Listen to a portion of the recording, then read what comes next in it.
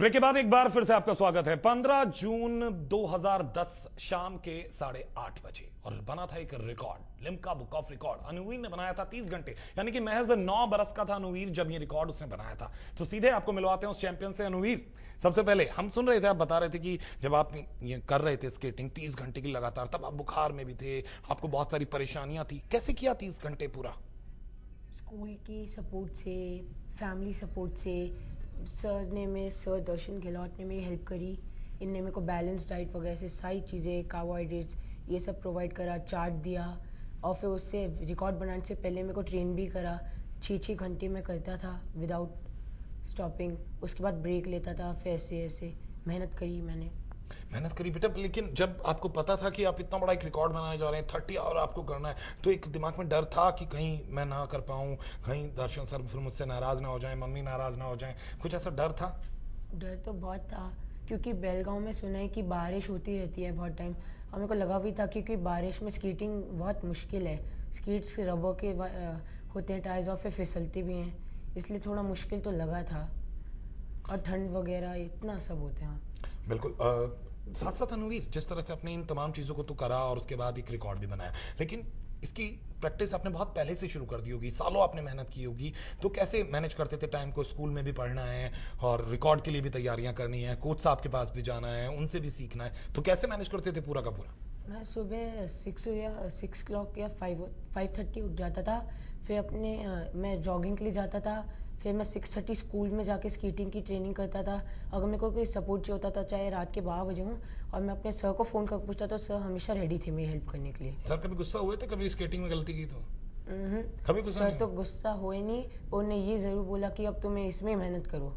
अगर कुछ गलती होती तो सर उसमें ज़्यादा मेहनत करवाते थे।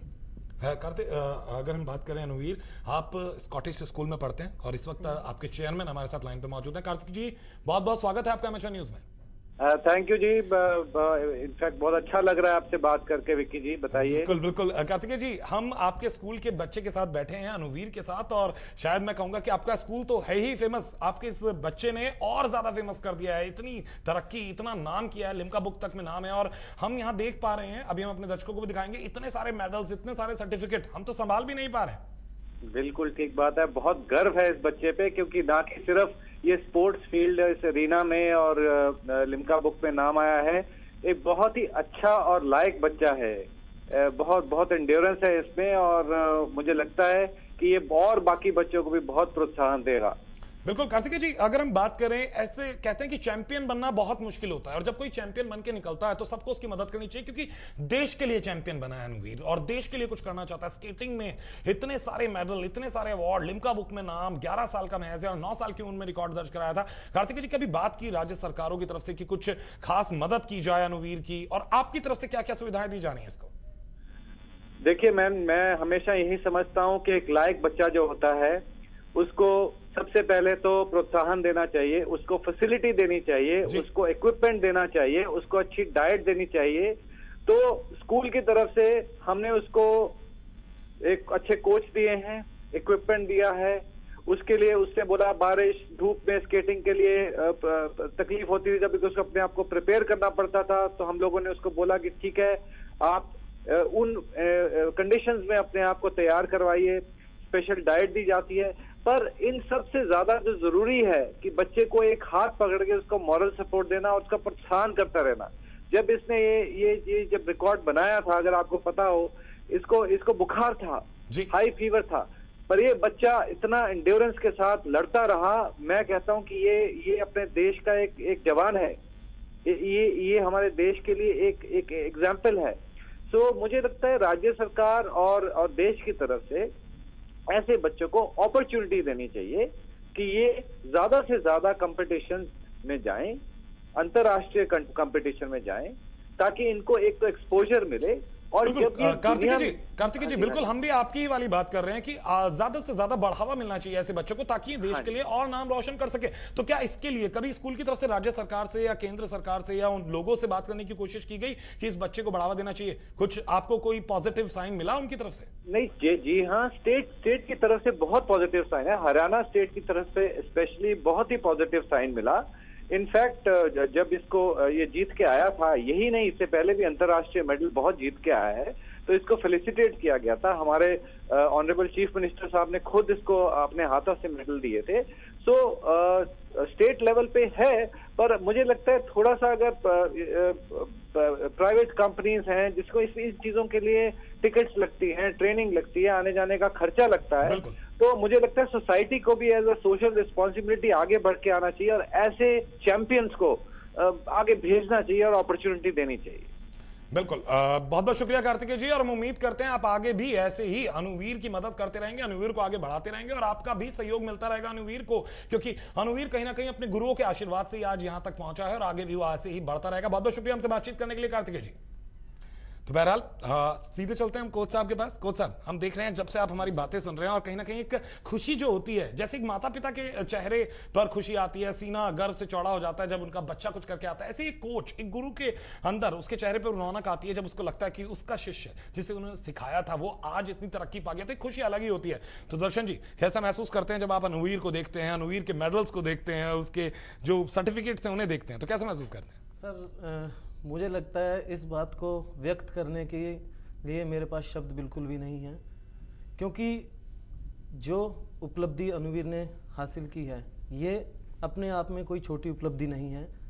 इस उपलब्धि के पीछे इसकी जो मेहनत है, इसकी जो लगन है, उसी उसी लगन ने हम लोगों को भी प्रेरित किया कि हम आगे आके और सपोर्ट करें और रिज़ल्ट सामने है और इस रिज़ल्ट को देखते हुए लेकिन कभी कभी कभी दर्शन जी हाँ कभी जी। लगा ऐसा कि बड़े आप इरिटेट हो गए हो यार कैसे इस बच्चे को मैं कैसे करूँगा? बुखार है जब इसका आपको पता लगा होगा जब ये स्केटिंग के लिए जा रहा था कि इसको इतना तेज फीवर है क्या ये कर पाएगा? क्या आप क्या खास आप ऐसा कर रहे थे? सर अनुवीर के जो ट्रेनिंग शेड्यूल था अनुवीर के जो एंड्योरेंस जो लेवल इसका प्रिपेयर किया गया था वो इसी हिसाब से किया गया था। और हमें पूरा विश्वास था कि अगर थोड़ा बहुत कुछ प्रॉब्लम भी हुई तो अनुवीर उस चीज़ को पार कर लेगा। ये छोटी मोटी बाधाएँ हैं। अच्छा मुझे ऐसा लगता है तीस घंटे के लिए ज़रूर स्केटिंग अनुवीर कर रहा था लेकिन तीस घंटे तक दर्शन सिंह भी एक खेल में मौजूद थे और खेल ही रहे थे। अंदर से उनकी घबराहट उनके चेहरे पर नज़र आ रही थी। क्यों अनुवीर? अनुवीर जब स्केटिंग कर रहा था दर्शन जी तो वही स्थिति आपकी भी थी कि तीस घंटे तक बिल्कुल पलक नहीं झपक रही थी। सर घबराहट महसूस होनी तो जायज़ बात है क्योंकि अपना बच्चा एक ऐसे प्लेटफॉर्म पे परफॉर्म कर रहा है जिस अगर वो उस बाधा को पार कर लेता है तो जिस लेवल पे उसका सम्मान होगा जहाँ वो पहुँचेगा जो वो ख्याति प्राप्त करेगा उसके लिए मतलब कहना बड़ा ही मुश्किल हो जाता है शब्दों में तो हाँ साँसें तो रुकी हुई थी अच्छा, लेकिन जी। हमें विश्वास भी था कि अनुवीर ये पताका फहरा के ही आएगा। बिल्कुल अनुवीर को देखते हुए जो आप लगातार जिस तरह से करा लिम्का बुक का नाम हुआ अब आप आगे कह रहे हैं कि वर्ल्ड रिकॉर्ड के लिए गिनीज बुक में नाम दर्ज कराने का आपका अगला मकसद होगा तो कुछ खास तैयारियाँ की जा रही हैं आपकी तरफ़ से? सर अभी अनुवीर का ट्रेनिंग शेड्यूल तैयार किया जा रहा है। अभी इसकी जो एंड्योरेंस और इसके बैलेंसिंग और मूवमेंट्स के ऊपर अभी और वर्कआउट किया जा रहा है। ट्रेनिंग सेशन को बढ़ाया जाएगा। इसके एज के हिसाब से इसकी डाइटरी रिक्वायरमेंट्स को देखते हुए सारे चार्ट तैयार किए जाएँगे और उसके अकॉर्डिंग फिर अब नेक्स्ट तैयारियाँ इसकी स्टार्ट हो जाएँगी। बिल्कुल वापस आएँगे दर्शन जी आपके पास अनुवीर से भी बात करते रहेंगे लेकिन मैं यहाँ दर्शकों से सिर्फ़ एक सवाल पूछना चाहता हूँ। मैं कुछ दिखाना चाहूँगा पहले दर्शकों को। ये मेडल्स ये इतने मेडल्स हैं कि जिन्हें शायद गिनती भी ना की जा सके इतनी गिनती जितनी शायद अनुवीर को याद भी नहीं होगा कि उसने कितने गोल्ड मेडल कितने सिल्वर मेडल और कितने ब्रॉन्ज मेडल जीते हैं। लेकिन इन मेडलों का बोझ कहें कि आज भी अनुवीर के पास है, लेकिन सरकारें आज भी अनुवीर का बोझ उठाने के लिए तैयार नहीं है। इतने सारे सर्टिफिकेट जिन्हें लेकर वो देश का नाम रोशन कर रहा है, लेकिन सरकारों की तरफ़ से आज तक क्या मिला? अनुवीर को आज तक आगे बढ़ाने के लिए कोई कोशिश नहीं की गई। स्कूल साथ खड़ा है, कोच साथ खड़ा है, परिवार साथ खड़ा है, लेकिन अनुवीर आज भी स्केटिंग पर अकेला नज़र आता है। बात करेंगे एक छोटे से ब्रेक के बाद, क्यों अब तक जाग नहीं पाई है सरकार? क्यों एक उभरते हुए खिलाड़ी को और मदद नहीं दी जा रही है? क्यों से आगे बढ़ाने के लिए कुछ और सुविधाएँ नहीं दी जा रही है? एक छोटे से ब्रेक के बाद।